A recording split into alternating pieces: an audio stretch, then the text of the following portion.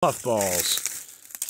This one is way bigger than the last one I saw.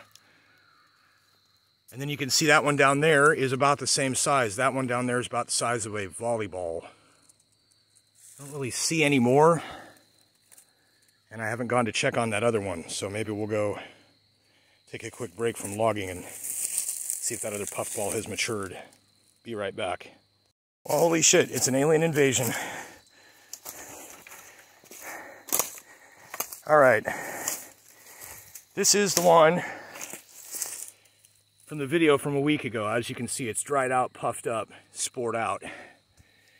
But just up the path, oh, there's deer in the woods too.